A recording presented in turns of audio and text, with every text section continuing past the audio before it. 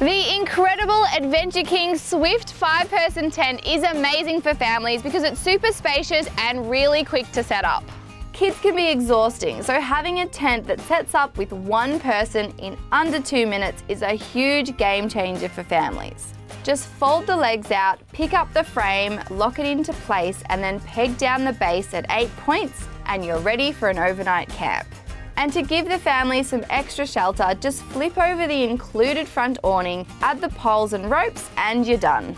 There's nine square metres of internal living space, so there's plenty of room for the Adventure King's queen size and single self-inflating mattresses, and you can use the side wing areas for storage to keep the sleeping area clutter-free.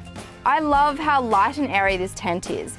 If you've got the front, back and side windows all rolled up, you've got an amazing sheltered space to relax, play or sleep.